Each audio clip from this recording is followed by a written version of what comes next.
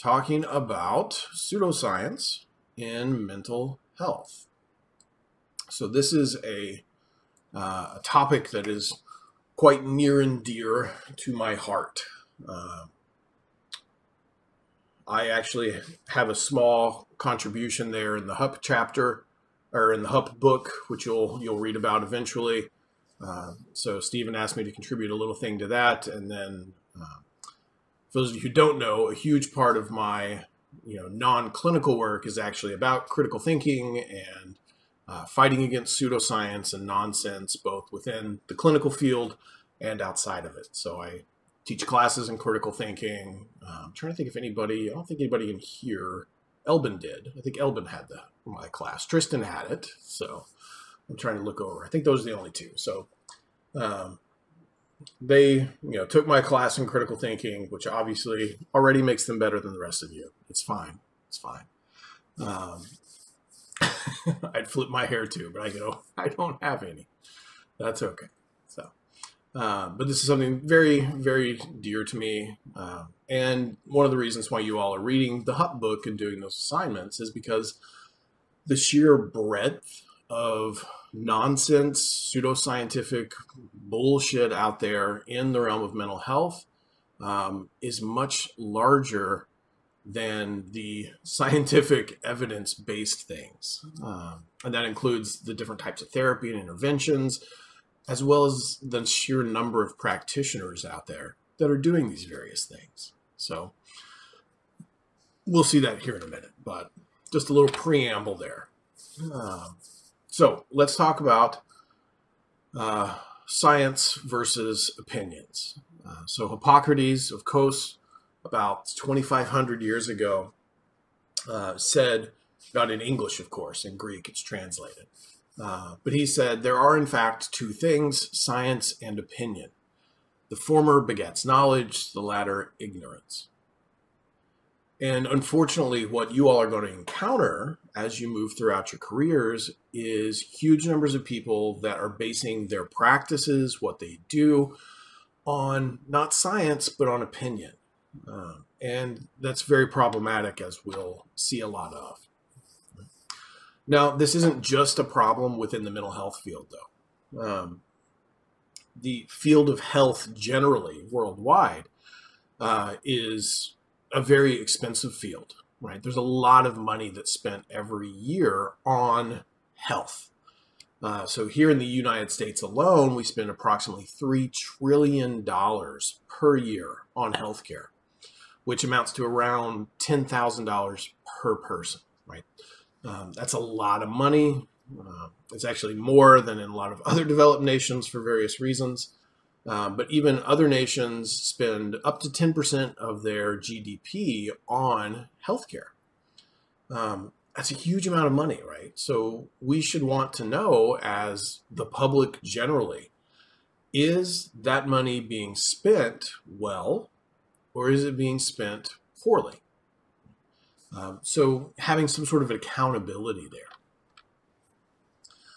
So, in other words, are we spending that money on things that you know we know are reliable and likely to help change, or on things that are not?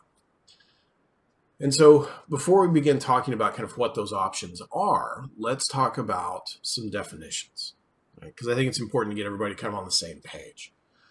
And the first two definitions I want to talk about are what are called um, alternative and complementary medicine, and then integrative health. So, uh, alternative and complementary, or complementary and alternative, you'll hear it kind of done both ways, uh, are those approaches to healthcare that are developed outside of what's considered conventional medicine or healthcare. Um, sometimes you'll see this referred to as Western or mainstream uh, healthcare. So that's how the National Center for Integrative uh, Health defines it. And it defines integrative healthcare as being conventional and complementary approaches applied together in a coordinated fashion. So, uh, integrative healthcare is taking those conventional things as well as this complementary and alternative or CAM uh, and using those two things together. And I think this is a term that has had a um, a massive increase in use over about the last decade. So, a lot of you will probably be familiar with or have seen uh, various clinics and things like that are referring to themselves as, you know, Edmond Integrative Healthcare or um, you know they talk about well what do we do here? We do integrative healthcare. And this is this is a relatively new term. Um, which sounds sounds nice like let's integrate it or they'll say something like you know we do holistic care or something like that. Um, which sounds nice but the question is um, is it and is it effective? Is it useful? So let's talk about another definition which uh, i know most of you are quite familiar with already which is the definition of evidence based practice or EBP. So, a couple different ways that we can define EBP is the conscientious, explicit, and judicious use of current best evidence in making decisions about the care of individual patients. Or healthcare practice based on integrating knowledge from best available research evidence, clinical expertise, and patients' values and circumstances.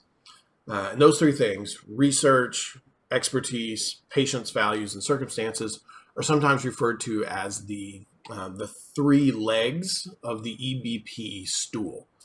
Because um, if you just have like one leg on a stool, not very stable, right? Two legs, also not very stable, it turns out, right? You're going to fall. Um, and so instead, we've got these this tripod there, which we can set on and be pretty stable with. Now, what's interesting when you look at the EBP is that it's not talking about um, specific kinds of treatments, right? It's not talking about conventional versus alternative or complementary or integrative.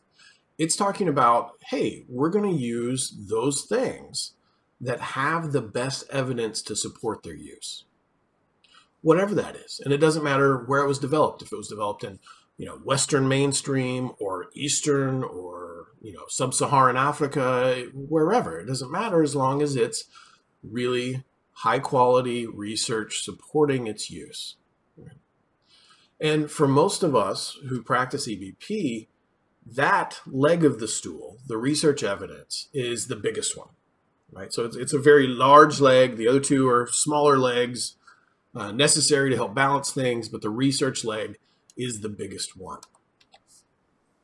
And so, you know, what are we doing in evidence based practice? Well, we're using therapies, we're using assessments, we're using uh, medications, treatments that have been demonstrated to be effective and demonstrated to be effective in these well controlled trials. Now, this is actually uh, surprising to a lot of folks now, but this is a relatively new term. So, uh, our first kind of operational definitions of EBP only date back about 25 years. And in terms of psychology, um, it's really about that old as well. Um, so, most people think of medicine, right? Um, physical medicine, physicians. It's like, of course, well, of course they're evidence based. Why are they well, they're they're all based on science, but it turns out not so much. Um, and the history of medicine has been rife with things that we now know are either actively dangerous um, or, at the very least, not effective. Right? And it turns out psychology's history is the same, as we'll see. Now, one of the things that I want to just kind of give everybody a little background on is that uh, evidence based practice is something that has a very long history, right? So our, our first real clinical trials uh, date back to the 1700s. Um, and they involved limes. Limes. L I M E S, right? The things we use to make margaritas. Uh, or that's what I'm most familiar with limes from. Um, limes. Are limes medicine, right? Do you go to the doctor and he's like, I think, you know, Evelyn, I think you need to take two limes and call me in the morning, sort of thing? Um, that would be pretty interesting. Um, but our first real kind of controlled trials and clinical trials did involve limes, and they involved limes uh, in the treatment of scurvy.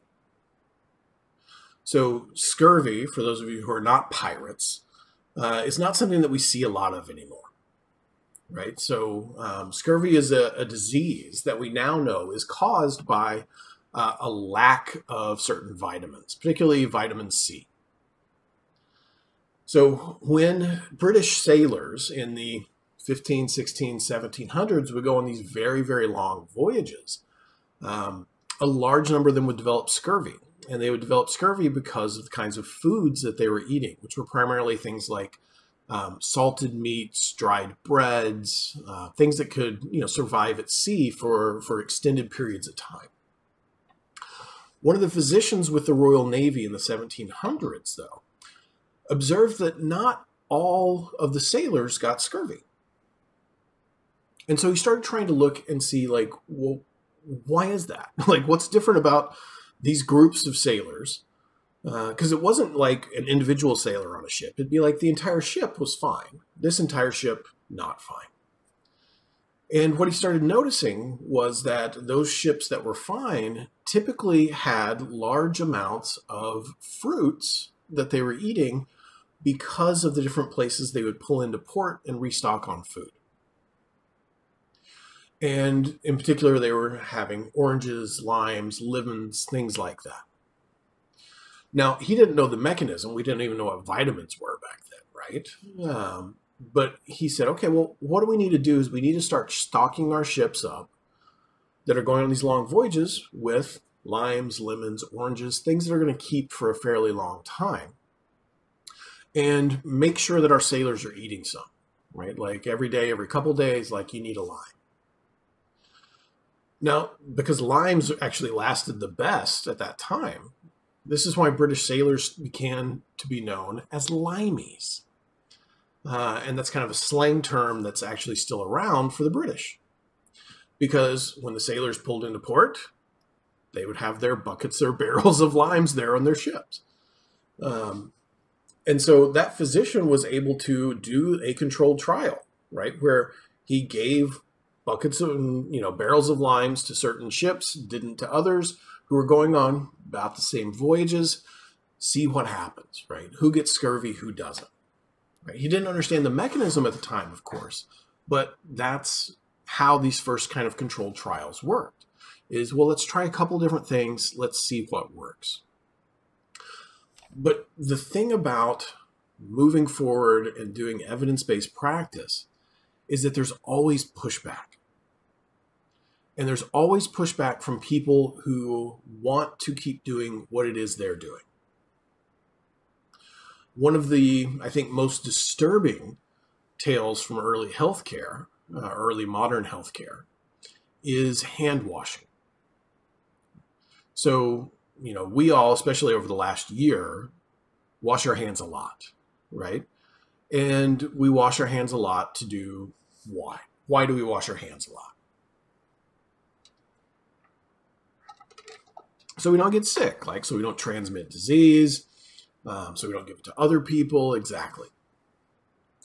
Now, that wasn't always the case, and it wasn't always the case for physicians. So if you actually go back about 150 years, hand washing wasn't really a thing that most physicians did.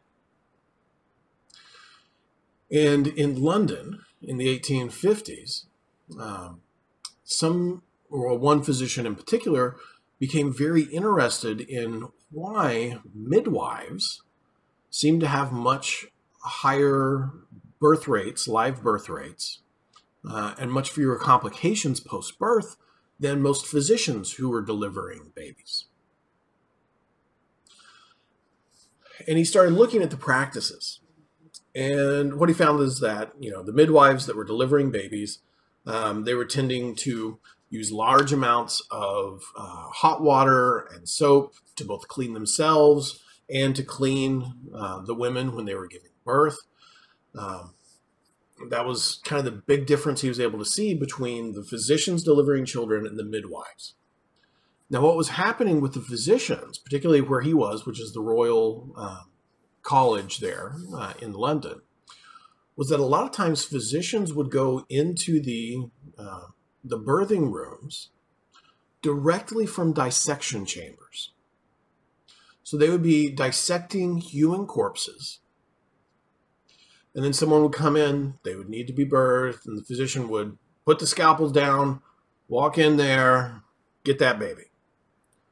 And it turns out huge numbers of the women who the physicians were delivering ended up with different kinds of fevers and diseases.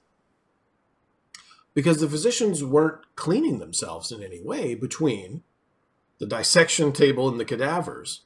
And now I have my hands inside this living human being.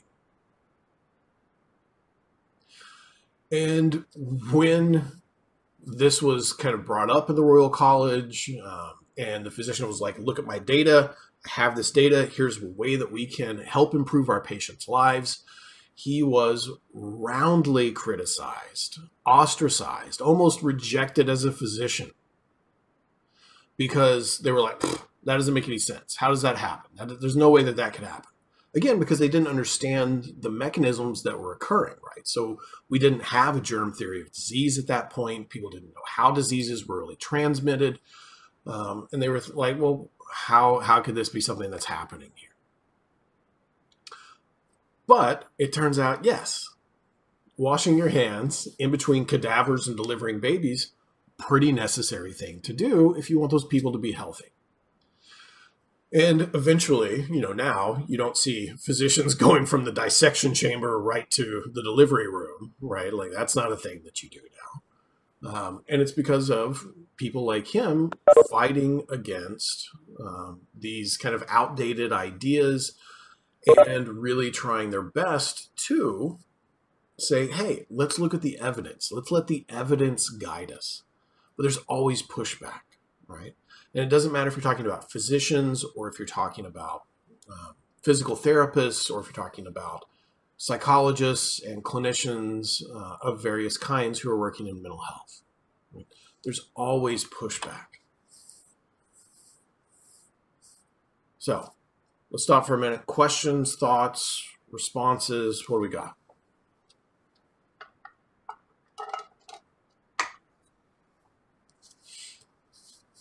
It's a pretty gross story, right? Like I'm up to my elbows in a cadaver. Now I'm delivering your baby. Like that's that's pretty gross. I get that. But it's interesting to think. Uh, it's interesting to think about. A lot of people are very skeptical. How a lot of people are very skeptical about um, the changing in like the CDC guidelines over the past year. Sure. Uh, in regard to COVID nineteen and all of this new information that we're gaining every single day, it's it I can understand at the time why they could be skeptical, but it doesn't necessarily obviously make it right. It didn't make it right. Um, but I, you just kind of see how that has correlated even into today's um, COVID response. Yeah, and you know, one of the things that most people still don't grasp, I think, is how science responds to evidence and changes appropriately, right? Um, it's like, well, you told me this. Okay, well, we're telling you this now, and here's the reason. Right? we have more evidence, we have more studies, we have more research results. That's why we're going to stop doing this, and we should do this other thing. Um, and a lot of times, unfortunately, that scene is like, oh, you're flip flopping, you don't know what you're doing, or you know, you're wishy washy. It's like, no, I'm responding to new evidence, right? I'm changing based on what we know now yeah, we didn't we didn't know that before. Now we do. So should we keep doing something that's wrong now? No, right? Obviously not. So, but a lot of people don't don't get that. I think it also has to play into like we talk about in psychology a lot our schemas and how everybody has one. the issue with something as unprecedented as COVID nineteen is that it is shattering those and it's not following the same rules as you know other illnesses that we've seen have followed. And so instead of just having a couple of people that are breaking away and saying and trying to stick really hard to those we have a whole society that's doing it. And so and we come from an individualistic society where what i do i don't care how it affects everyone else um, is kind of the mentality that we've all been raised on it for generations. So I think that has a big play into what we've seen and why we see so much pushback against scientific evidence. Yeah, I, I think that definitely falls into it, Tristan. Um, particularly when you know you've got, for example, the CDC guidelines saying, "Hey, you need to, um, you know, wash your hands, disinfect surfaces, and so on, like for months, right?" And then it's like, mm, I mean, you still should do that, but really, it's through the air. Like the masks are the most important things to stop transmissibility. Um, and people are like, well, you told me to wash my hands. I've been washing my hands for months. It's like, well, that's good because it turns out, you know, um, that's that's healthy too. like it didn't hurt you. Uh, but this is really what we need to do. So it's it's that kind of that response to change, which is hard for a lot of people, right? Like people tend to like to keep doing what it is they're doing, right? Um, things like confirmation biases, of course, and uh, kind of behavioral inertia, all you know, play into that uh, for sure.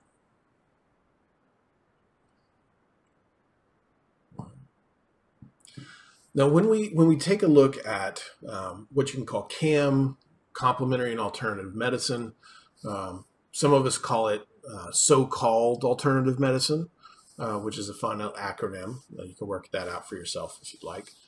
Uh, when we compare that to evidence-based practice, what we really are talking about is evidence-based practice is a way of making decisions.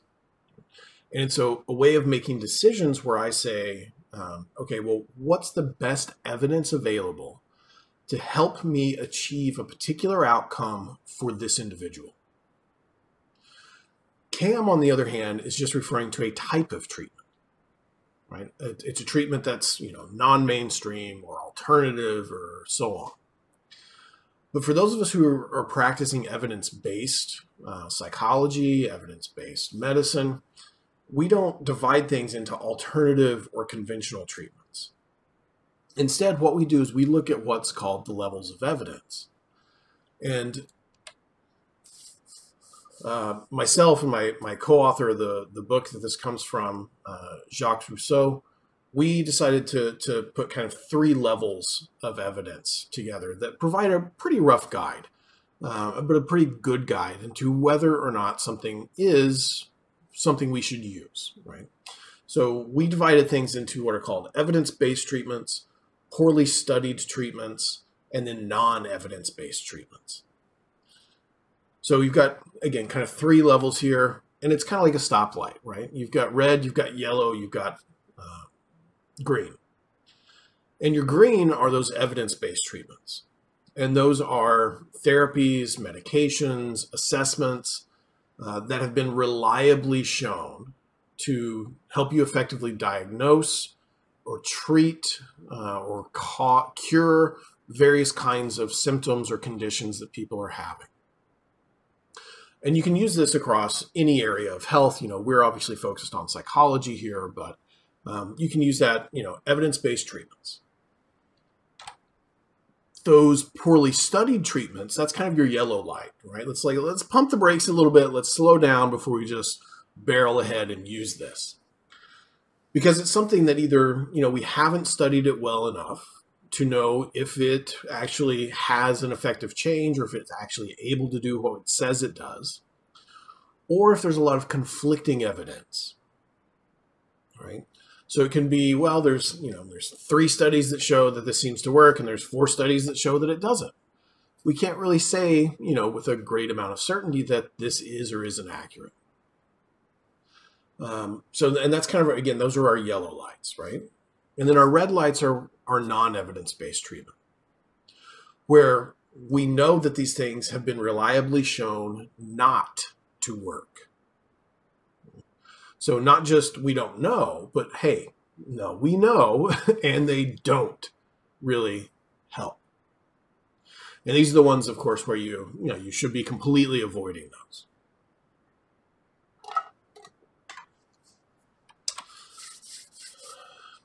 So one thing that I think is really important in uh, mental health, in particular, is understanding that no treatment is a panacea right? So a panacea is the name for some sort of general cure-all. Um, and this would be something that, oh, I'll give it to you and it'll fix everything. Kind of like the old uh, snake oil salesman or uh, a lot of people that you would see peddling kind of various kinds of alternative cures, which is, oh no, if you do this one thing, right, it'll fix all these treatments. And the reason that there are no panaceas is because the very same treatment can be evidence based for one thing, but not evidence based, or it could even be poorly studied for something else. And this is something that I see um, mental health practitioners do, especially, which is I've got this one thing that I do. Maybe it's evidence based for this population, but I'm using it for everything. Right. So, oh, hey, this has been shown to work for this problem in this population. Let's do everybody this treatment. Um, you know, probably the easiest one that you're most familiar with to think about are uh, bacterial infections, right? So if I have a bacterial infection and I take an antibiotic, that's considered an evidence-based treatment. But antibiotics are not panaceas. So they don't help with every kind of infection, right? So if I have some sort of a viral problem, antibiotics are not going to help, right? Because there, there are very different mechanisms that are causing the problems that I'm experiencing. And this is important to remember in psychology, right? Just because this treatment works well with this population or for this problem doesn't mean that it necessarily will for everything. That's one of the reasons why in our workshops, I'm not just telling you all, all right, here is the way you treat all problems, right? Like, here it is. No, we have to be flexible. Even if we say cognitive behavioral therapy is the you know the most well supported treatment uh, orientation generally for mental health problems, that doesn't mean that you treat every problem the same way. So I don't do, for example, exposure and response prevention to help fix someone's uh, autism, right? They're both mental health problems, fears, autism, but you don't treat them in the same way, right? I wouldn't do, um, you know, social skills training to help treat someone's depression. Why? Well, because they're not the same thing, right? Even if both of those might fall under this umbrella of cognitive behavioral therapy, that doesn't mean that they're all the exact same thing. And so that's something to keep in mind, especially as we go throughout this. It's also important, like Elijah and Tristan both uh, kind of alluded to, is to remember that these are not static categories, right? Things can move between these categories. And they move between them thanks to new research, new understanding of what's going on. So you can have something move from you know, poorly studied into evidence based, or from poorly studied down into non evidence based. Or you can even have something move from evidence based to non evidence based. Right? If there's new, more effective research showing that there were problems originally.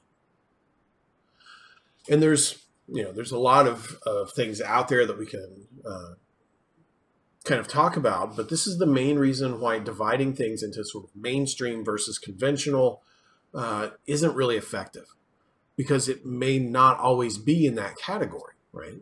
We want to think about these things in terms of how much evidence do they have to support their use, not what do we call it, right? What category does it come from? So in psychology, one example of this would be mindfulness. Um, so 30 years ago, um, when mindfulness based therapies started becoming um, a thing and being developed, they were definitely in that poorly studied treatments range. Right? We didn't really have a lot of data to back them up. But over the last 15 years in particular, um, we've got an increasing amount of research showing that, hey, these seem pretty legitimate for these particular problems. Same thing with acceptance and commitment therapy, which, you know, 20 years ago when I first started graduate school was this very like new thing that uh, was just being started, hadn't really done much research on it or anything. And now it's it's a well uh, well established uh, valid treatment for a, a fairly wide range of problems that people experience. So you shift between the categories based on your evidence. But that makes much more sense than trying to say, well, this is a mainstream, this is alternative, this is you know, a complementary kind of medicine. It's like, okay, well, let's just talk about the level of evidence for it, right? Part of this has been, um, I think, purposeful uh, in terms of trying to change the names or trying to um, kind of muddy the waters a bit. So if we look at uh, the kind of evolution over the last 30 years of governmental agencies that are involved in or um, you know, kind of in charge of doing research on these things that we call alternative or complementary medicines, uh, there have been some very large shifts in their name. Right. So when this was first started, uh, this was called the OAM, the Office of Alternative Medicine. And then it shifted a few years after that to being called the National Center for Complementary and Alternative Medicine. And then it shifted about six years ago to being called the National Center for Complementary and Integrative Medicine. Uh, and being part of NIH, the National Institutes of Health. And so if you look at that name, you'll notice that there's a word that has dropped out right? It was there in the first two alter or uh, you know variations of the name. It's not there anymore, and that name is alternative, right? Um, why? Why did that get dropped from the name of this institute, right? Uh, this center. Well, because alternative has a lot of fairly negative connotations to it, right? Um, so you all probably, if your uh, car breaks down, you don't go to an alternative mechanic, right? Or if you, um, I don't know, uh, let's say that you're trying to go from point A to point B. You're trying to figure out how to get there. You don't look at alternative geography to help figure out which one or which way to go, right? I mean, most map makers agree that we would drive on I 35 to get down to Dallas. But there's an alternative map maker that says instead what we need to do is bore straight down into the into the ground and then we'll hit a wormhole that will allow us to instantly transport there, right? There's this alternative geography we've got to talk about. No, like we don't do that, right? So why would we want to have an alternative medicine? Because what's it the alternative to? It's the alternative to evidence based medicine, it turns out. Um, so they definitely dropped that term purposefully. And you'll see now they're focused on complementary or integrative uh, medicine and health, which is a bit wishy washy, I think. So, um, but it's kind of a way to stay, unfortunately, uh, more relevant, as is why they you know change that name and use the kind of classifications that they use. So the NCCIH now doesn't say this is evidence based or not. Instead, what it does uh, is it just groups treatments by their kind. Right? It doesn't say here's the level of evidence for this. It just says, hey, this is uh, mind body medicine. This is you know uh, biologically based, you know, complementary medicine, instead of just saying, well, here are the things that we have evidence to show this works. And in fact, on their website, they actually describe a lot of treatments as being evidence based when they are completely non evidence based. So they, for example, um, list homeopathy and acupuncture as being uh, evidence based treatments when they are not. Um, homeopathy, for those of you who are not familiar with it, um, is is what it is is placebos. So homeopathic pills don't have any actual medications in them, which is one of the reasons why they can be sold over the counter. It turns out, uh, and you don't need a prescription for them.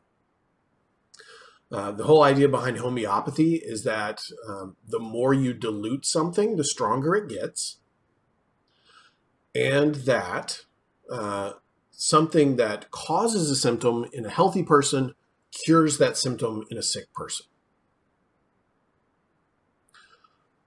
Yeah. So, so in other words, not that any of you have ever done this, uh, but some people occasionally drink too much alcohol. Um, I know none of you ever have, but you've probably heard stories about it. Uh, a homeopathic remedy for a hangover would be we take the thing that causes a hangover, alcohol, okay? But I don't just like, oh, oh, uh, you know, Zach, you're drunk. Here, have some whiskey. No. I say, oh no, Zach, you're drunk. You've got a hangover. Let me take a drop of this whiskey, mix it into this, you know, vial of water, stir it up real good.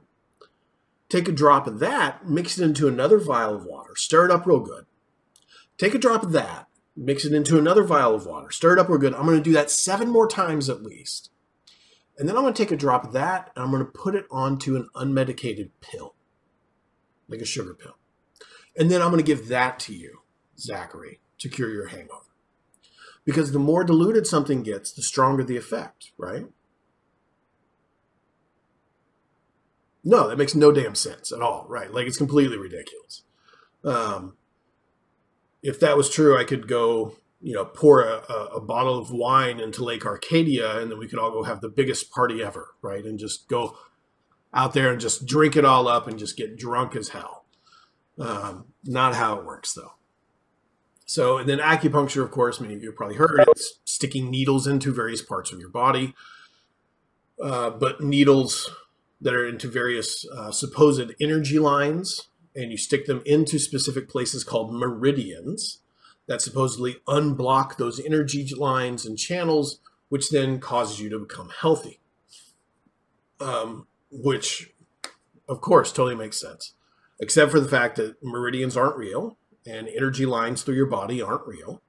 Uh, and when we test homeopathy, what's really fun is that we can do uh, real home, or I'm sorry, acupuncture, real acupuncture, right? Where a trained acupuncturist comes in, puts the needles where they're supposed to go. Or we can do what we call sham acupuncture, which is a person comes in and then I just kind of randomly place the needles wherever the hell I want. Uh, and it turns out people get equally better if you're doing the sham or the real one. So it means you're not really the needles making the treatment, right? And we'll see more about that here in a moment. But this, you know, National Center for Complementary and Integrative Health um, doesn't, you know, do a good job of differentiating evidence versus non-evidence based treatments, and instead just lumps them into these three categories, uh, which are pretty ridiculous. You've got natural products, mind and body practices, and then anything else. Um, so it's not, it's like the worst categories of all time. Let's be honest. Um, mind and body practice. Well, what what does that even mean? Like everything I do is involving my body or my mind, right? Even if I'm taking these natural products, it's involving my body, right? Anyway, it's a big mess up there. Uh, so, you know, what we're going to stick with is we're going to stick with levels of evidence, right? What's the level of evidence supporting this category? Um, and again, I think part of this is just purposeful confusion on the this national office uh, and the people who are supporting that, because for the vast majority of the things they list on there, they wouldn't be able to say that they're evidence based in any way, shape, or form. Um, so, purposeful confusion.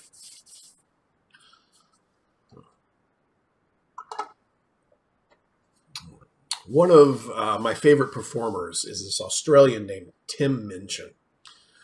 And he's got a spoken word piece uh, that is just brilliant called Storm. Um, and you can go look it up. If that Tim Minchin Storm on YouTube. Uh, there's actually this uh, short, about 12 minute animated film that someone made of it. Uh, it's brilliant. Uh, but within that, he has this line that you see here on the on the screen, which is by definition, I begin, alternative medicine, I continue, has either not been proved to work or been proved not to work. Do you know what they call alternative medicine that's been proved to work? Medicine. Right? Because that's that's what it is. The alternative is that it doesn't work, right? Or we don't know if it works. Um, you know, think about it. If if you go break your arm, right? Let's say let's say Elbin's skateboarding and he falls and breaks his arm. Do you want to go to someone who's like, all right, let's do some X-rays. Uh, oh, I can see. Here's where it's broken. We're going to cast it up. You'll be all right here in about six weeks. Or would you want someone to be like, no, we could do this, right? This is what we know is going to help it heal. But have you considered some crystals?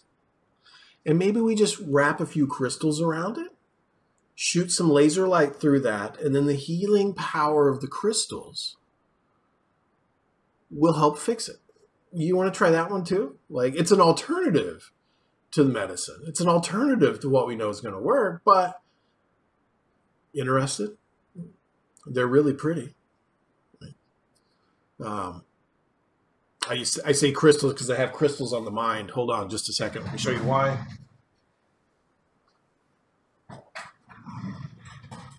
When you're moderately uh, well known, people send you books uh, to review. So this one you can see Crystal Healing, the psych- science and psychology behind what works, what doesn't, and why. Uh, so I've been reading this to give it a review. Uh, it's actually really cool because it's a, uh, a mineralogist and a psychologist essentially showing people here's my crystal healing's bullshit. Um, so it's actually a really fun book, but that's why I used crystals as an example because it's on the brain. So sounds like all it's missing is some astrology. Yeah, they don't they don't go into any astrology in here, uh, but they do have some really nice photos uh, and they do talk about some really great, let me see, hold on. They talk about what metaphysics are versus scientific method. So, yeah, really cool book, really fun book. So, um, so if any of you have crystal healers in your life, when this is published, you can, you know, direct them to that. So. All right, questions, thoughts, reactions so far? Do you know anything for essential oils? Uh, you mean any books to kind of show? Uh, I, I wish I had an entire book that did that. I'd have lots of articles that show why they're nonsensical. Gotcha. Um, so certainly shoot me an email and I can send those to you. So there is a documentary series on Netflix that kind of goes over essential oils, a lot of homeopathic things that are really big right now. Um, I'll try to like look and see what it was because I was watching it for a while. I forgot the title, but I'll try to find it. And my mom watched it and she likes essential oils and she was very upset when the essential oils one came on. I was like, well. Yeah, uh, essential oils. They're they're pretty fun. The the only essential oil that we use here on the farm uh, is WD thirty. So, or WD forty. I'm sorry. So we went up a notch. So that's that's our essential oil. Um, yeah, lots of people like them. They smell nice. Not gonna cure your problems, uh, but they smell nice. So at least there's that, I guess. So, uh, all right. Now, why why am I talking about this stuff? Right. Well, I'm talking about it because it turns out shitloads of people use these things. Um, or if they're not using, you know, um, a whole bunch of different alternative medicines or CAMs, they may be using one. Um, and we've actually seen a very steady rise in the use of these across the last 50 years, um, a, a doubling or more. And if we look just broadly speaking, the most commonly used here in the United States, first is chiropractic, which um, for any of you who didn't know, those are not actual physicians and doctors.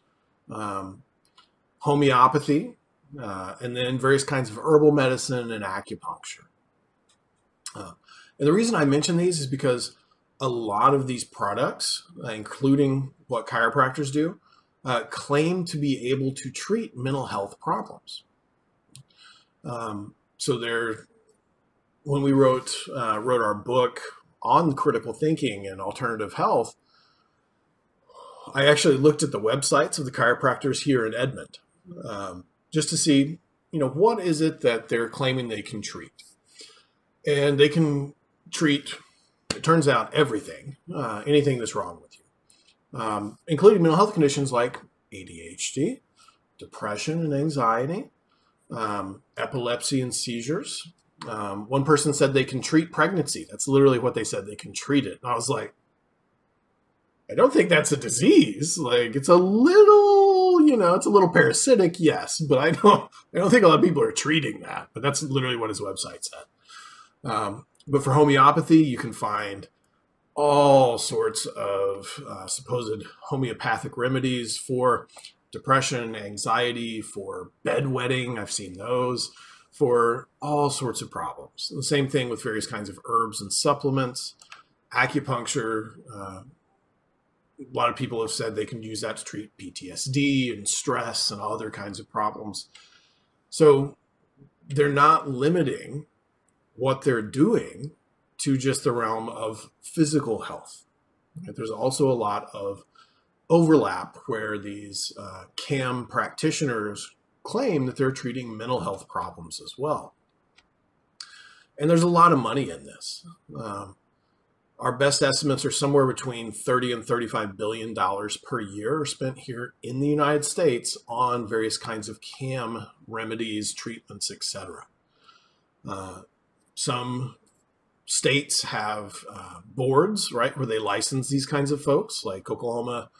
Uh, actually, until recently, the Board of Psychology was in the same office building as the Board of Chiropractic. Um, which is very embarrassing for psychology. Um, but you know, you'll see people who are licensed acupuncturists or things like that, which gives this kind of air of like, oh, well, I guess, I guess it's real. I guess we can treat it then. Uh, but remember, they also license things like dog groomers and uh, you know nail salons, which don't help you, you know, magically get better from problems. Uh, even though some of you are using that as part of your self care, and that's fine. So, so we've got a lot of things that uh, people spend a ton of money on, spend a ton of time and effort in, um, and so you know, why would they spend that money if it didn't work, right? Um, wouldn't they realize these treatments were ineffective or didn't happen? And wouldn't they then try something else? And this is a really tricky question um, because the answer to this is essentially these treatments do work, but they don't work for the reasons people think they do. And this is a this is a very tricky kind of thing, right? Because someone can go to the chiropractor and then they can feel better, right? Or they can take some homeopathy and feel better or they can go to a therapist who's doing uh, some sort of pseudoscientific, non evidence based practice, and they might end up feeling better. But the question is are they feeling better because of that? Or is there something else happening? So we've been going for about an hour. Let's take a little quick break. And when we come back, we'll talk about kind of how uh, different aspects of research are so important to figuring out what does and doesn't work. So let's let's do about a about a ten minute break. Okay, see you guys about uh, three ten. Thanks.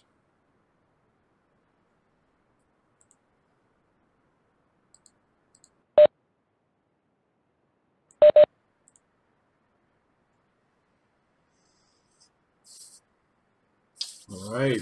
Hi, everybody. Welcome back. Welcome back. Hopefully, you got a little little relaxation. Uh, stepped, you know, at least into your kitchen and got some more hot tea or something. Who knows? Uh, or vodka. I'm not. I'm not going to judge. I'm not going to judge. So. Uh, Quit giving away my secrets. That's all right. You know, the We're in grad- who aren't drinking just ran in there and did shots right quick. It's fine. I, I understand. For grad students, I don't think it's really a secret. Not That Irish shots- liqueur goes really well with coffee. I'll try that. I've uh, not that I condone this or anything, of course, but uh, there's some peanut butter whiskeys now that really go well. in hot chocolate, uh, and in milkshakes, like a vanilla milkshake with a little little peanut butter whiskey in there. Talking about screwball. Uh, screwball's too sweet for me. I use one called uh, Bird Dog. So it's it's not quite as sweet, and it's a higher. It's like forty percent, so it's more like an actual whiskey, more like a liqueur than. Uh, Listen, it's all the alcohol he can get. Yes, basically, I do. So. Don't blame me. Well, so um, where we had left off before the break was we were talking about um, kind of the importance of research in terms of guiding our decisions about what is and is not considered effective evidence based practice, right? Um, so, providers like you all, as you go out into the world, who rely on evidence based treatments, evidence based assessments, um, rely on those research studies to guide us in that. And the reason that we have to do that is because we as humans uh, are naturally extraordinarily biased uh, in our everyday decision making. Uh, and I can talk about this for weeks, and you know, Tristan and Elvin have heard me talk about this for weeks. Um, but we are really easily biased to uh, ignore certain kinds of information and pay more attention to others. We're also really easily influenced by social forces, um, things like advertising. And the third one is how strong the placebo effect is. Because it turns out it's a very insidious force in making people think that something is working when in reality it's not an evidence based treatment. So, the placebo effect, I'm sure you guys have all heard of that before, right? But, you know, when we try to define that, it's any kind of sham or inactive treatment or procedure that we then tell people actually is active, right? So I'm doing something that's not real, but I'm telling you it is. So, like I mentioned earlier with those acupuncture studies where they had sham acupuncture, right? Uh, where we placed, you know, needles in places where they weren't supposed to go. Um, or in some of the studies, they're actually really clever and they use sham needles where they look like needles and they look like they're going into your skin and they kind of feel like it, but they don't actually penetrate the skin at all. Uh, they're these very clever retractable needles. Uh, so you know they look like you know you're you're getting a real treatment or you're getting a pill that you know you're being told is going to have this or that effect. Uh, or we've even done things like fake surgeries, right? So placebo surgeries uh, to test to make sure that these things actually do work or that these treatments actually do work. Uh, and we have these in therapy as well, right? We have what are considered uh, sham or placebo therapies, where there's no active ingredients. Um, generally, what these look like is these look kind of like what you all did in individual counseling, right? Which is reflection and reflection of content and emotion, you know, being present, being, you know, kind of unconditionally positively regarding people, but not actually doing any active ingredients of treatment. And so that's why I actually, or I refer to uh, our folks who get through their first year uh, as being placebo therapists at that point, uh, because you, you know, you know how to be a placebo then. Um, and that's not to say that everyone who goes to a therapist who's only doing that that no one ever gets better. It turns out a lot of people do see some sort of improvement. But the question is why? And that's why we have to have research in order to help figure that out. Because when someone gets a placebo, a lot of times people who get placebos show improvements, even if there's no active treatment. Um, and we can see this across large numbers of different kinds of areas. Um, one of my favorite things for people to do in terms of placebos is to serve their friends uh, non alcoholic beer or wine. But you tell them that it's alcoholic and you see what happens, right? Um, O'Doul's was particularly good for that when I was in college, and you could, you know, people are acting crazy and drunk, and you're like, "Look, suckers, it was there was no alcohol. You're all being ridiculous, right?" Um, and we have carefully controlled research studies uh, in labs that show people do those things. Uh, this placebo effect is really powerful. Um, the term placebo, just so you know, comes from Latin. It's a Latin phrase that means essentially "I will please." Uh, so you know, I will please the person that's giving me this and telling me that this works or this will help, uh, and then I'm like, "Oh, I think I think that's good." Now, here's the thing about placebos, though. Um, they're very powerful, for sure. We've got decades of research on that. But they're more powerful and pronounced, and we can see those effects better in subjective tests. So, in other words, um, when I ask someone how they're doing, as opposed to actually measuring change. So, why is this important in psychology? Think about how we typically measure progress in psychology. How do we measure progress? Do we measure it through, you know, changes in blood serum levels or uh, you know, cortisol levels or no, for the most part we ask him how you doing? What's changed, right? How you feeling? Which it turns out is incredibly subjective even if we're using good assessment instruments. And so we know the placebo is stronger for that, right? Um, on the physical sort of side of things, one of my favorite examples of this is having people with asthma use sham inhalers. Uh, again, in controlled trial, not just like doctors are like, you know what, this will be funny. Let's give them some sham. No, but like in controlled trials, you give them sham inhalers. They look like the real thing. They sound like the real thing. Uh, they feel things coming out of them, but there's no medication in it. And you still see people saying that I feel better. But when you actually measure lung functioning, it doesn't change.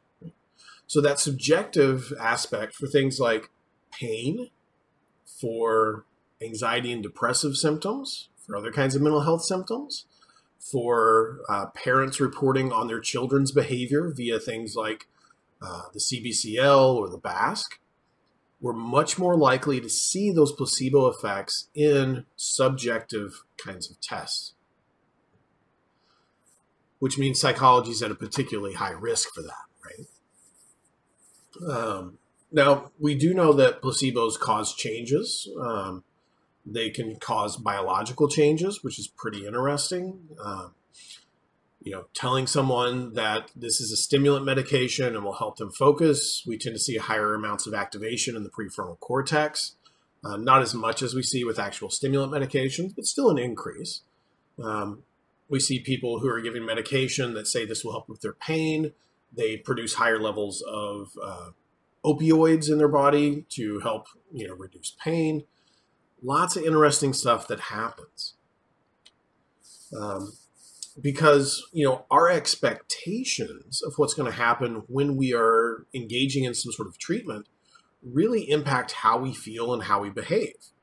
Um, so again, if you give somebody that's you know expecting a beer, you give them a beer that's non-alcoholic. Uh, if they're told it's alcoholic, there's a really good chance that they will experience some of those effects. They'll feel as if it's they're intoxicated. They may act as if they're intoxicated. So slurring words, uh, being clumsy, things like that. And this can go for you know any sort of substance really. So in the same way, if I tell you that this medication is going to make you less anxious, make you less afraid, make you less depressed, etc., there's a good, strong chance that we'll see a, a, a fairly significant placebo effect there. But there's also what we call a nocebo effect.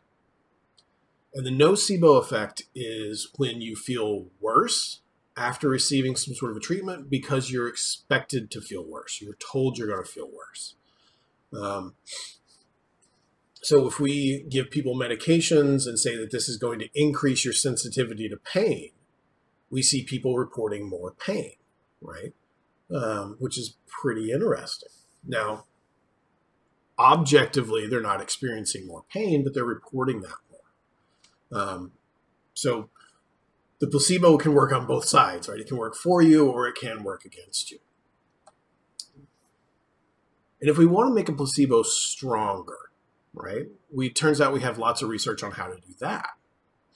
And we can make placebos stronger by first um, being very friendly as the person providing the placebo, um, being very interested, very engaged with the individual, um, all things that you should think, oh, that's what we as mental health professionals are supposed to do, right? Uh, so that's, it turns out, one way to make placebos stronger is to be a nice, engaged person. Uh, and then basically, the more um, fancy the placebo is, the better it works. So, for example, if I give you a pill, that doesn't work as well as a capsule, which doesn't work as well as an injection, which doesn't work as well as a surgery. Um, think about that in terms of things like therapy. If I've got a, a fancier kind of therapy, or I'm giving it all these fancy names, I'm wrapping it in a fancy package and talking about, oh, here's what's happening at the brain, and this is going on, and you're integrating these halves of your brain, or you're, you know, you're activating this or that particular center of your brain. All that does is help increase the placebo strength, which is pretty interesting and has big implications when you look a lot at a lot of these kind of pseudoscientific therapies and treatments that are out there.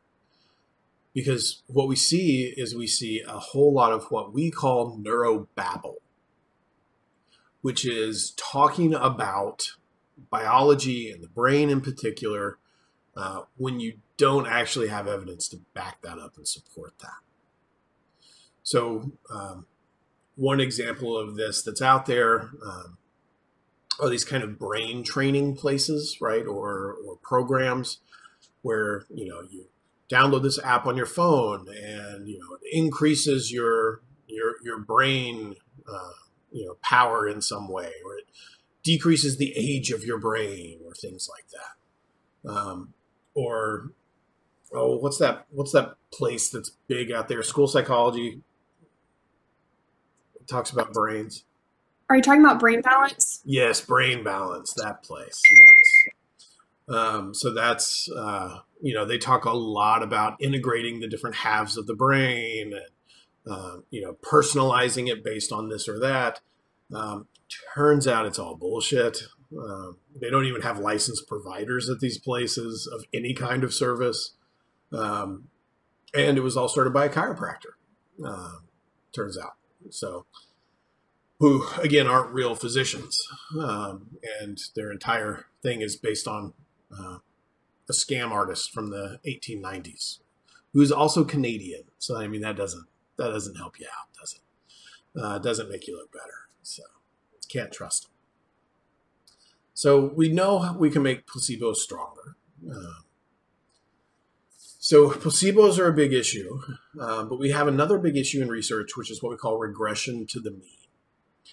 And this is where, when I measure something that's in an extreme direction, it's most likely going to regress or move back to the mean, the normal, the more that I measure it. The reason that this is problematic in mental health is because when do people come in and seek treatment? yeah, they don't come in when they're like, you know what, I'm feeling pretty good, but I think I still would like to see a therapist. Or, you know, my kid's fine, but let's just go in and just see what happens, right? No, they come in and they're like, my life is a disaster, right? Things are terrible. Things are very, very far from the norm, right? The mean. Um, so people, we tend to see them when they're coming in for treatment when they're at an extreme side of a particular symptom or cluster of symptoms or behavior. So, one way to think about this, um, pretty easily understood, I think, is to think about you all and developing a headache. Right? Everyone in here has had a headache at some point? And it usually isn't just like I'm walking along and then, oh, it's out of nowhere, right? Usually it starts small and it builds over time, right? So you're at the mean of no headache. And it starts small and it starts building until pretty much you're at this extreme value. You're like, oh my God, I've got a bad headache. This hurts. What do I do? Okay, well, I'm gonna I'm gonna take some aspirin. I'm gonna take some ibuprofen. I'm gonna do whatever it is that I normally do when I have a headache. And then hey, I'm feeling better, right? Like, oh, my headache went away. So obviously the medication worked that I took, right? Well, not for sure. Because it turns out there's, in this example and in most examples of treatment, there's actually three reasons why you could have gotten better. One is yes, that that medication you took really did decrease the pain. But it could have just been a placebo effect right? So you may have expected to get better, so you felt better. Or it could have just been that across time, regardless of what you did, that pain would have went away. And that's what we call regression to the mean. So it doesn't matter if you took, you know, that medication or not. Most people don't have headaches forever. And so it probably would have naturally gone away. And each of these three things are plausible and possible. And so that's why we have to engage in research to be able to sort out which one it is. And this is the same thing with different kinds of therapies, right? Someone comes in to see me, I see them for a few months, they're doing better on whatever particular metric we're measuring. I think, I'm pretty good. Look at that. They're like, he's pretty good. Look at this. But am I? I mean, I am, but you know, you know what I mean. Um, you know, it could have just been that regardless of whether or not they saw someone, that problem would have gotten better. It could have been that it wasn't really me and what I did, it was just a placebo effect of coming into therapy. And it's only if we have these well controlled clinical trials that we can determine whether or not this treatment actually works. And we have to ask not just, does this treatment work? But does this treatment work better than a placebo? And would this treatment or this condition have improved naturally over time, even if we don't intervene?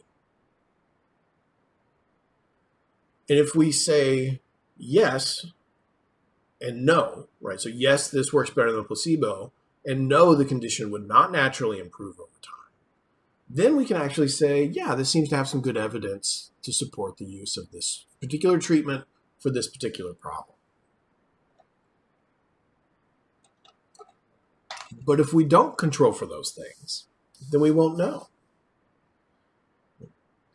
Um, you know, one example that I can give you all related to to kind of youth is that there's a um, treatment program that is becoming more popular. It's not super popular yet, uh, but there are some places in the city the metro area that are kind of starting trying to push this that's called CPP or child parent psychotherapy.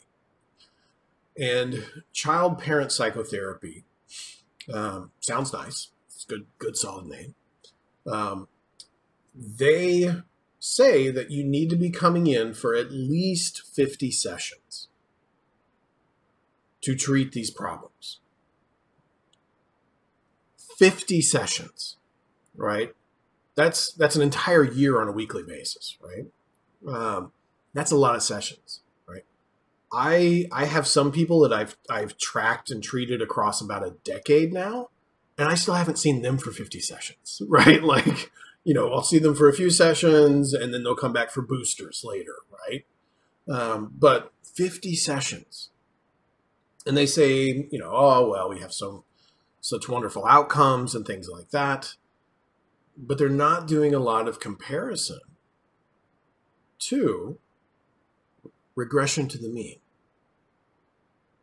And they're not saying, okay, well, would these people have just gotten better naturally across a year or a year and a half, even if they weren't coming in here for 50 sessions of treatment? And not comparing it to placebo treatments. So can I say that it really works or it works well? Well, not if I don't know that it works better than a placebo. and not if I don't know would these changes have occurred even if we didn't do anything. So when we're doing evidence-based practice, we really have to do these very carefully controlled research trials. And what we tend to rely on are what are called randomized, placebo controlled, double blind procedures whenever possible. This is our highest level of evidence, kind of our gold standards. Because if you're not doing randomized, then you don't know whether or not your groups were different to begin with. If you're not doing placebo controls, then you don't know whether or not people would have gotten better regardless of what your treatment was. And if you're not doing double blind procedures, then you don't know whether or not your own biases or the biases of the people in the study impacted the results. So it's only when we do these kinds of high quality trials that we can actually determine does evidence exist to support us really using this? Can we consider this an evidence based treatment? And doing, you know, um, these kinds of randomized clinical trials or controlled trials is not easy in any way, shape, or form. It's very difficult. It's very time consuming, takes a lot of effort. But the end result is that we actually are much more certain about what it is that we're proclaiming our certainty of, right? So, in other words, I actually know my results are more accurate. Because if I, again, if I don't follow a group across time, then I won't know whether or not, you know, with a waitlist control, that this group would have just naturally changed, right? I don't know if I don't give them a placebo if is this a true effect or is it a placebo effect? And so that's why we have to throw people through this kind of uh, intensive treatment outcome study to really know this or that's what's happening. So studies that don't meet these kinds of criteria can show that a treatment works even if it actually doesn't. And that's what's very, very tricky, right, about kind of looking at the research literature is that it turns out it's really easy to design a treatment trial to show that your treatment works. It's really easy to do so. But it's difficult to design a treatment trial that actually shows that it works. And so when we see lots of lots of evidence or studies out there where people are relying on non-randomized, non-placebo controlled, non-double blinded studies, we can't trust those because they don't tell us the whole picture.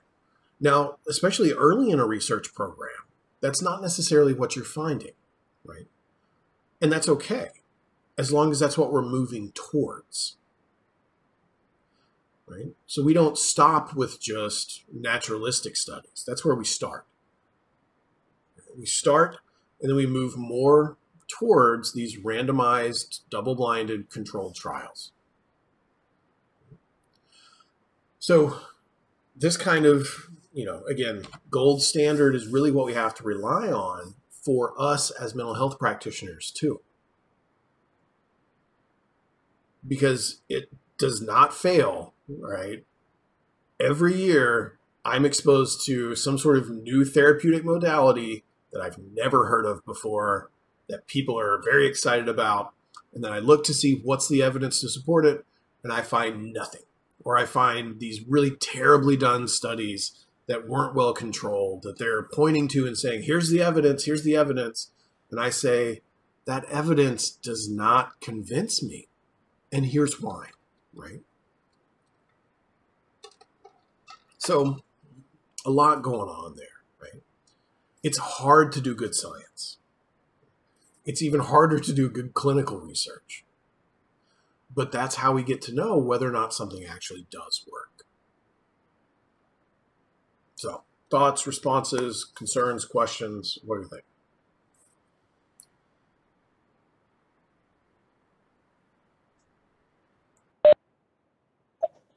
The other day, uh, someone I respected prior to them posting this posted something about, oh, masks cause diseases in kids. Um, and then the study that they referenced was like none of the gold standard things, and it was just really funny to me because it wasn't it wasn't placebo controlled, it wasn't double blind, um, it wasn't randomized. They just had kids who were wearing masks, and then like their parents reported to this non-certified place. Like oh they had symptoms of like things that could have been attributed to like any other disease on the planet. They were like it's clearly because of masks. Um, and it was just i couldn't even comment on the post and be like hey here you go because i would have to like send them your powerpoint of why that that's not a thing. Like the knowledge gap was just was just so far and that and that knowledge gap, Andrew, is such an issue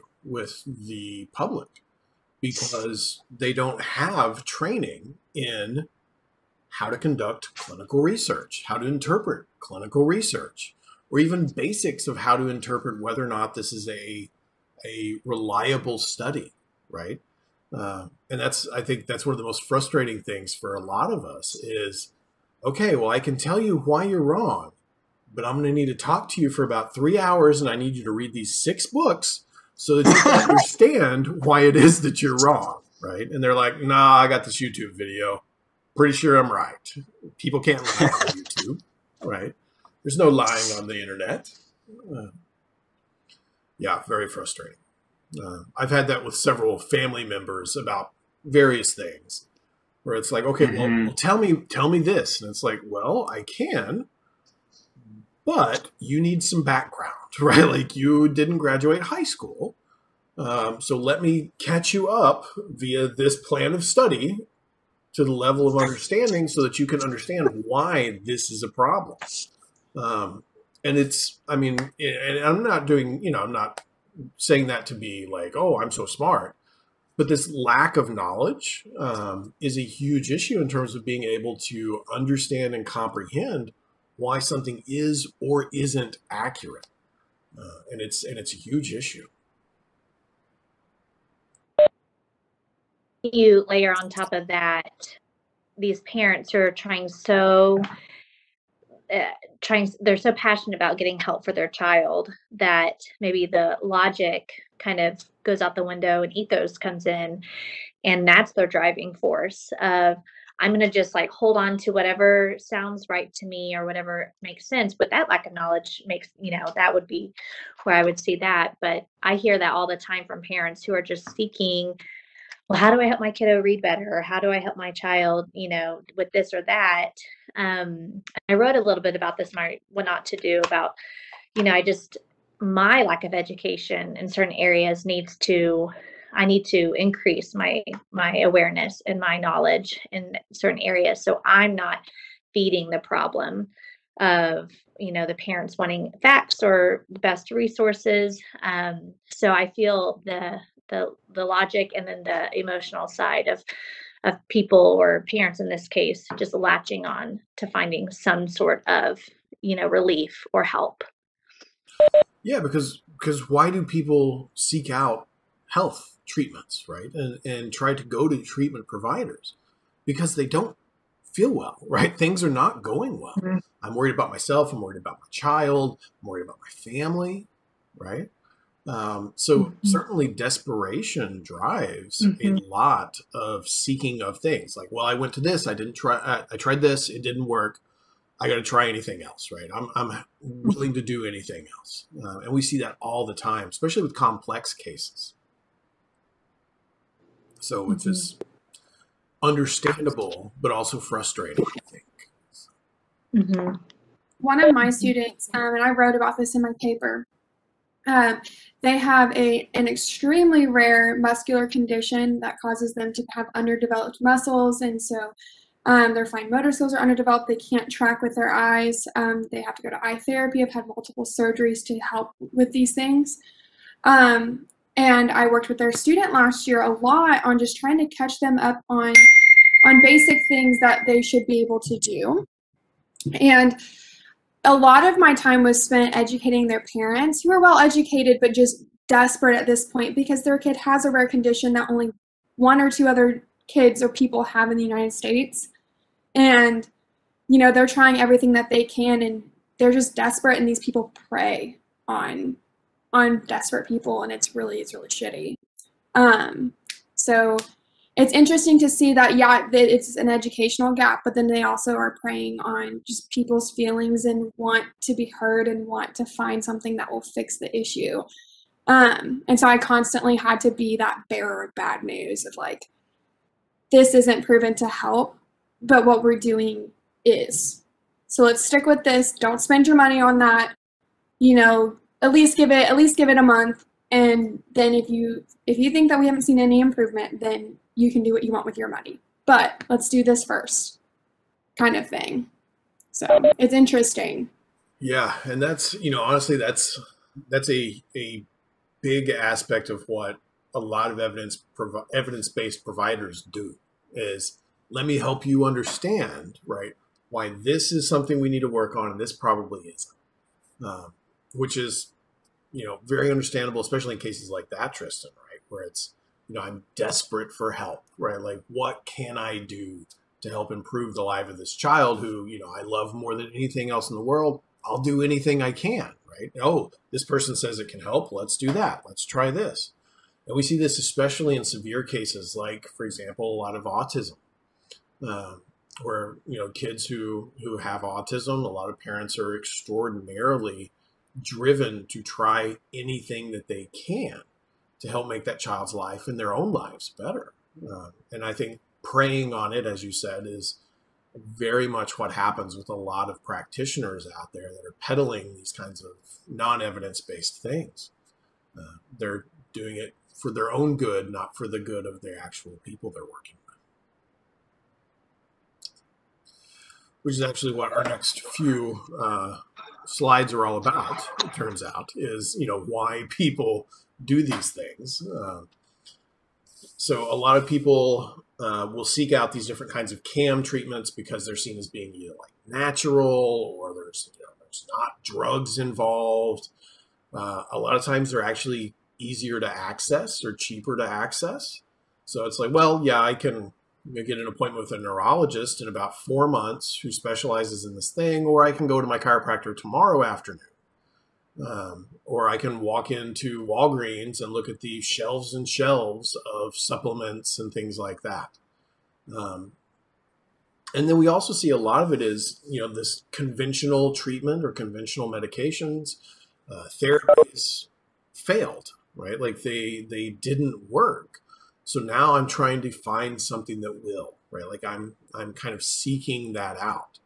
Um, and you know, I, I, think you know we can all probably think of folks in our, our lives who you know have severe problems that didn't respond or you know haven't responded to more conventional treatments um, and you do get you know kind of increasingly like i'll do anything i'll do anything uh, so it's it's understandable in many ways i think why people turn to these things uh, but that doesn't mean that it's good though right there's a big difference there I can understand why, but that doesn't mean that it's that it's okay. Um, you know, we also see that for a lot of folks, um, they're out there doing these pseudoscientific things, and they're licensed in some way. They're a licensed psychologist. They're a licensed, um, you know, BCBA. They're a licensed LMFT or LPC. So, I mean, if they're licensed by the state, they've got a degree in this, they've got training. Surely they're doing things that we know work, right? Sadly, no.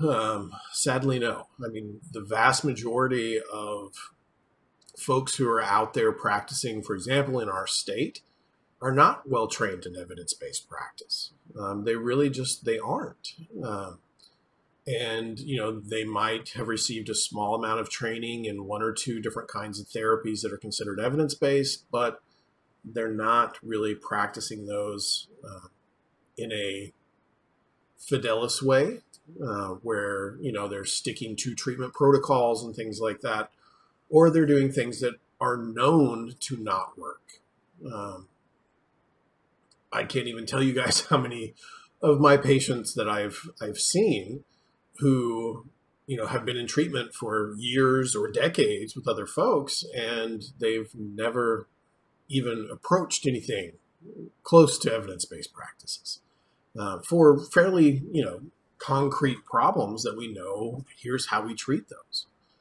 Um, we talked a little bit earlier about this kind of this not understanding the self-corrective nature of science, right? Like, here's why science changes, right? Um, and that's something that's I think hard for a lot of people to grasp, um, particularly if they're stuck in you know other kinds of mindsets where it's like, oh no, this is the way that things are.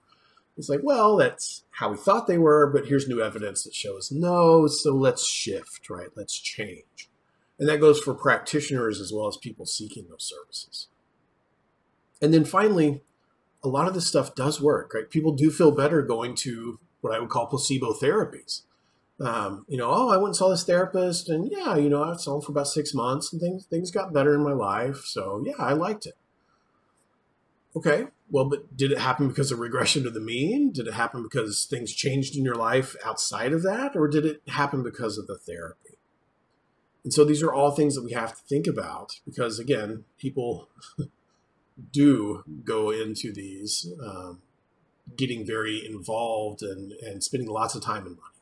So, um, things to watch out for certainly is panaceas, right? So saying, oh, this will fix all these problems. Um, I've seen this, I can't even tell you how many times for different kinds of like supplements and things like that, um, where parents are like, oh, we're taking these mega doses of vitamins to help cure this child's, you know, behavior problems. Uh, and it said they would fix all these things. It's like, well, they're not going to. Uh, so when something says it can fix everything, it's probably actually fixing nothing. Um, or people who are promoting it using words like, you know, this is an exclusive treatment, or you know, this is uh, a scientific breakthrough, or um, I can't even tell you how many of these therapies say things like that. The tappers, for example, the folks who are doing emotional freedom therapy and things like that, you know, they'll make these claims that you know they can, you know, change and treat your uh, treat your trauma in minutes, right? That you've experienced for decades, your PTSD symptoms. And it's like, whoa, what? Like that's a pretty bold claim. Uh, oh well, you're releasing the energies, you know, in the different parts of your. It's like, okay, hold on using a lot of these kind of medicalese terms or scientific terms, but not defining them, that's probably not too good. Especially if they're then trying to claim that, you know, the man is suppressing this product in some way, right? Or this therapy. Well, they don't want you to know about this because da da da da. And if you say, okay, well, what evidence do you have that this works? Oh, well, here's all these case histories, right? Here's these anecdotes here's people just saying this or that. Um, or this is the only place to get this treatment. This is the only one that works. We're the only people that do this. Uh, is it really? Like, you know, if I have a treatment that I know works, I'm probably going to try and train other people on it, right? I want that to get out there. Uh, and I want to make it as easily available as I can. So you have to watch out for that. People kind of throwing that out there as well. So, um, in terms of who's most likely to do these things, this is this is I think important information again for our mental health practitioners, which is um, middle-aged female, slightly above average education and income, um, which fits a lot of people coming in or bringing their children in for therapy people who are desperate for help, right? Um, and then people who have multiple things going on. Um, and usually other treatments haven't worked well. And that's kind of our, our most typical group that we'll see um, that are coming in or bringing people in for treatment. Um, so let's kind of think about that. All right, let's pause for a minute. Give, let's give some uh, some feedback. What we what do we think? questions, thoughts, ideas? What we got?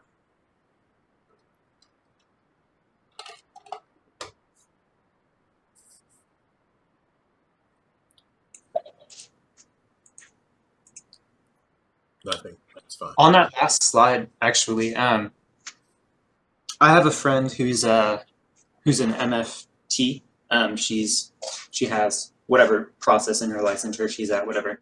Um, and she has a up until like last week, she had an undiagnosed medical condition that was like you know like one of the hard like autoimmune, hard to find the symptoms and hard to test and measure. Um, and because of her experience with doctors for like the past you know couple whatever decades of like not them not listening to her symptoms or her um, not having efficacious treatment um, that's affected even how she like um, views the medical community or like views the covid vaccine or like views some things like that just because her whole life people didn't like give her good treatment. And so that's even started like a feedback loop of her being um, maybe a little less likely to look at like data proven things just because she's had like she's the statistical abnormality that those things hadn't worked for on the medical side um, so i think that last slide was super powerful just because i know somebody who Yeah, and that that's an all too common story, Andrew. Sadly, um, we see we see a lot of folks who are kind of falling into these, um, you know, alternative medicine or complementary medicine um, kind of pits where it's usually not just one thing that you do; it's a lot of things, right? So, um, one of the best examples I can think of this is if any of you go to a chiropractor's office uh, they are very unlikely to only do chiropractic, right? We see an increasing amounts of these folks who are also doing acupuncture, they're selling supplements of some kind there. Um, they're peddling a lot of things that fall underneath this CAM umbrella rather than just one thing, right? Um, and that's not uncommon where I do this and this and this and this and this and this and this.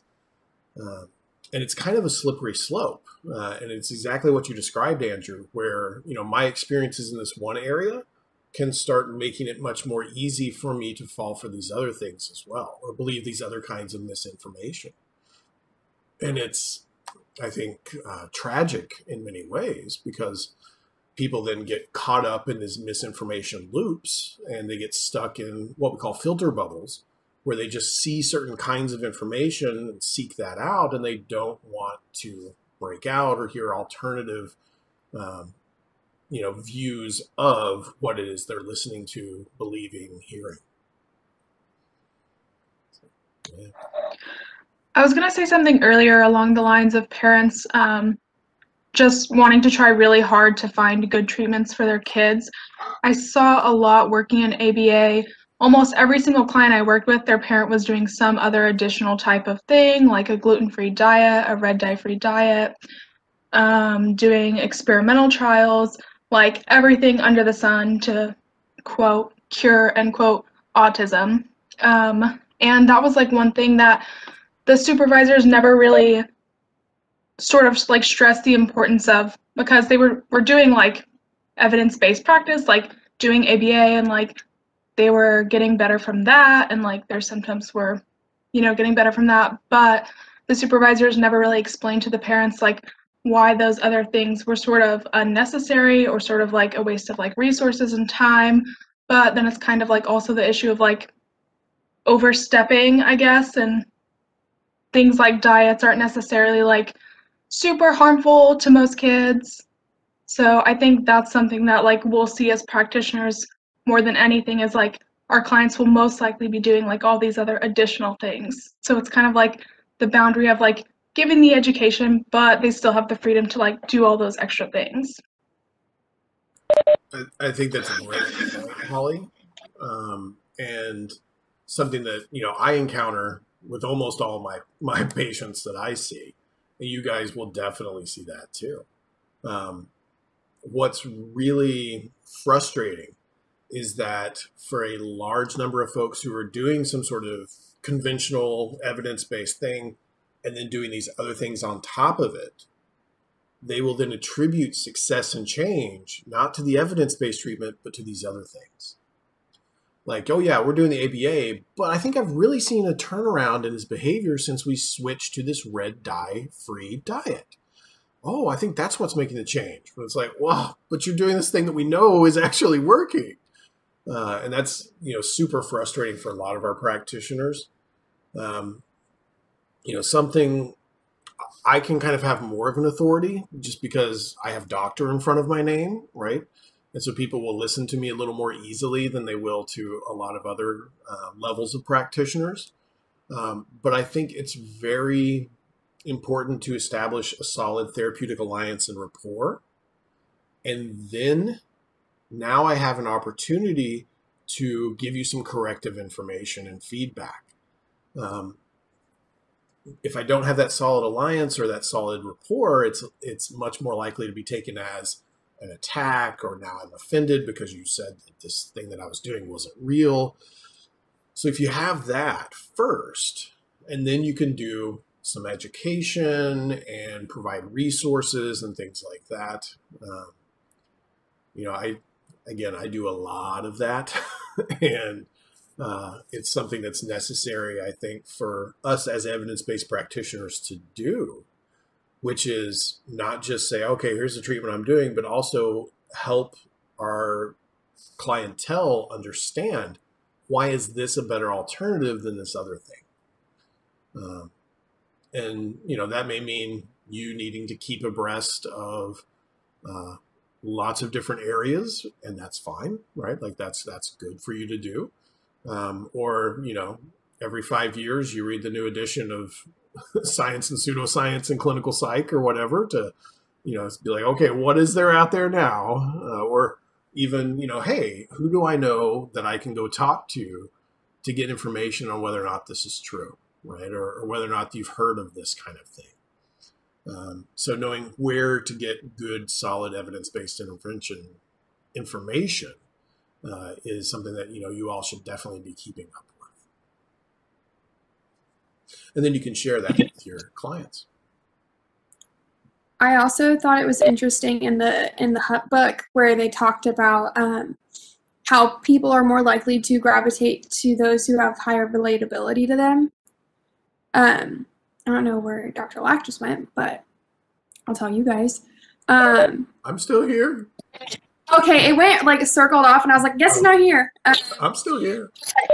Um, I related really hard to that because being so young and working with children, and when you go to the number one thing I get from people all the time is they'll ask, you know, like, "Hey, this is a behavior that I'm seeing. What could I do?" And you know, you toss out a few things that you know, changing the antecedent, you know, reward that positive behavior, and they're like, "Oh, well, you don't have kids, so what do you know?" And I'm like, "You're right, I don't."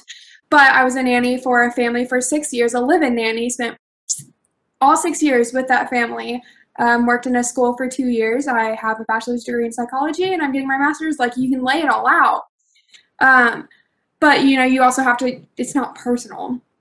It's that you know they would rather hear what other parents are doing because that per that person's in the trenches with them at that point, especially like with um, with like rare conditions, like my student that I mentioned, I also have a rare condition, so I kind of got a leg up there at our school because nobody else could relate. And they didn't have anybody that could relate to them, and then I show up and I can. So that helped um, to kind of get that, but like that is a big frustration that I have. And I think it's a really interesting phenomenon that people will rather go to someone more relatable than someone who is more educated in that area.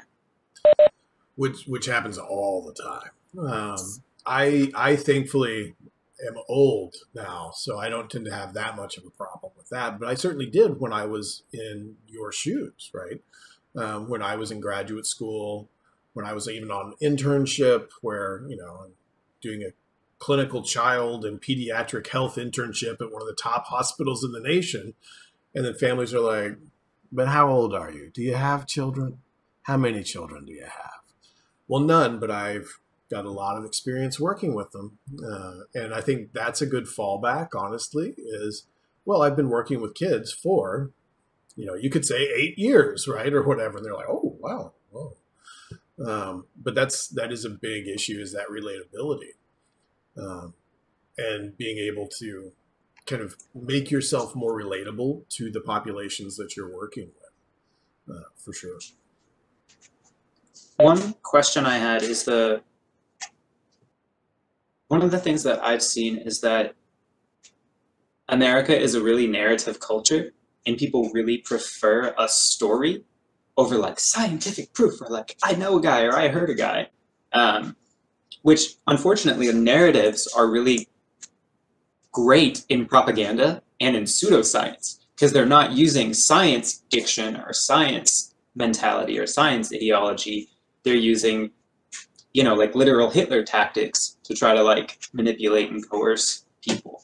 And so how do you work with how do you work against the fact that work the culture is kind of predetermined to like stories instead of like scientific proof? And it, it's not it's not just our culture it's humans as a whole it turns out. Um, we all prefer stories over data.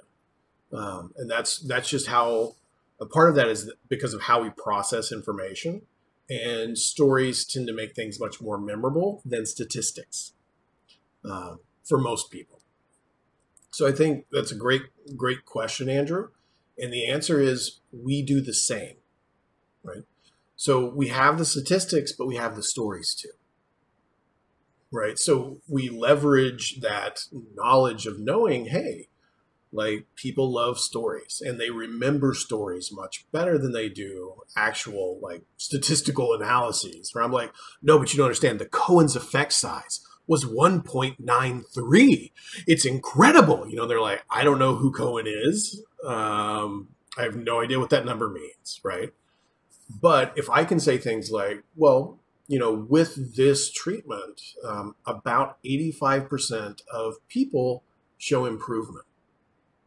So let me tell you, you know, one example, and then I can tell a story of someone that I saw recently uh, who was similar to the problem their child is having, the problem they're having. And I say, you know, and I worked with them for about, you know, this this long, which is kind of typical for this kind of treatment. And here's what they were able to do afterwards or here's you know how they were able to get back in school you know start doing x or y how their quality of life improved so we tell those stories too right but we combine them with the evidence right so we give them both of those pieces because the other side of the you know the room they can't do that right? They can't say, well, we have, you know, this evidence or these clinical trials that show this or that happens. They can just say, here's our stories alone.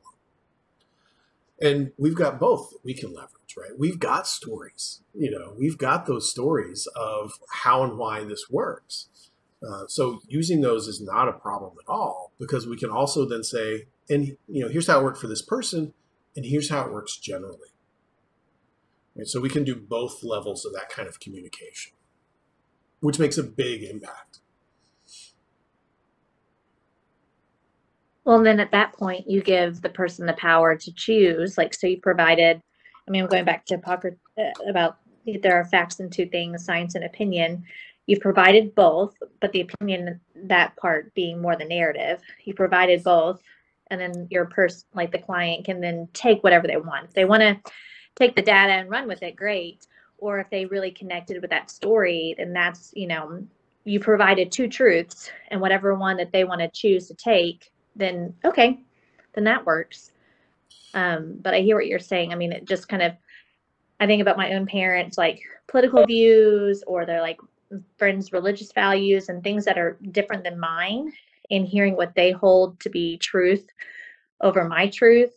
Um, I, you know, you wonder, is that really just your opinion over my opinion or your facts over my, you know, it just kind of gets into that game. But I like the, the idea of providing both the stories and the data or the story with the data.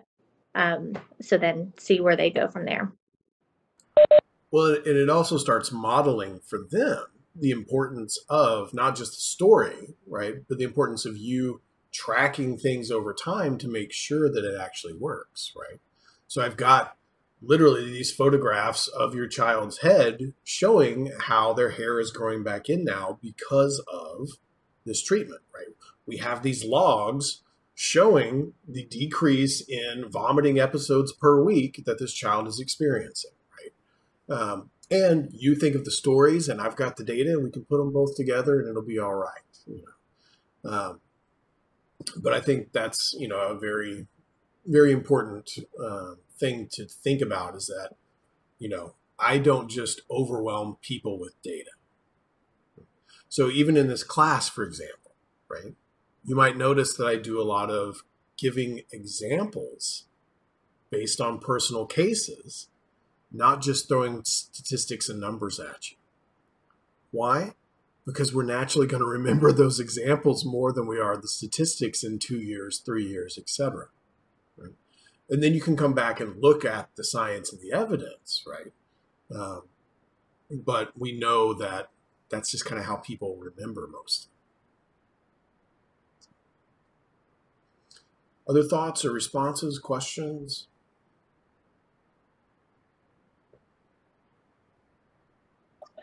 I think I mentioned something something about this uh, in my in my paper. Um, so the requirements for a well-designed uh, study is is the the double-blind, randomized, placebo-controlled uh, study. Uh, that those are obviously very high standards uh, for the APA. Um, and you, but their requirements is you only need two of those to be considered a well-established um, treatment. Um, it it seems like the the standards are high for the initial research, but it doesn't necessarily seem to me, at least, that the standards are high enough in regards regarding the next step to what it what is considered well established.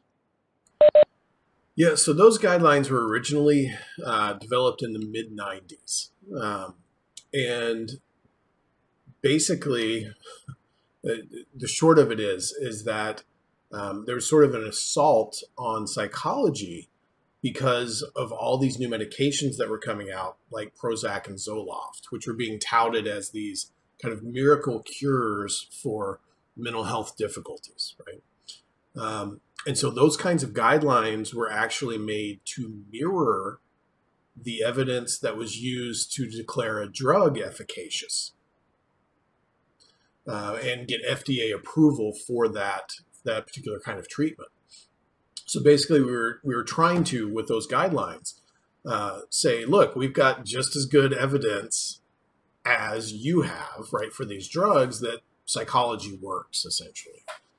Um, so that's that's kind of where those came from originally. To give you a little bit of the backstory on those. Um, the, the other thing is that you know two trials doesn't sound like a lot, but it is when you actually get into the amount of effort it takes to run those kinds of clinical trials in that way, right?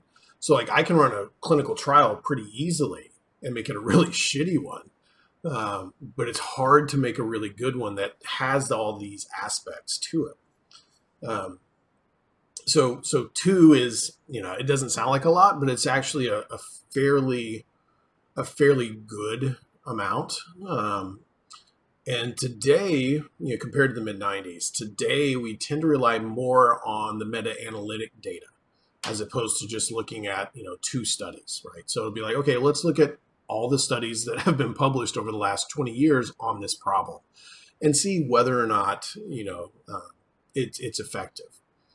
Um, so very few today of the study or the treatments that are really considered kind of well established um, only have two studies that support them if that makes sense. So it's, it's kind of like this very minimum bar and then most things have a lot more than that but that's kind of where that came from, that minimum bar. Good question. Good question.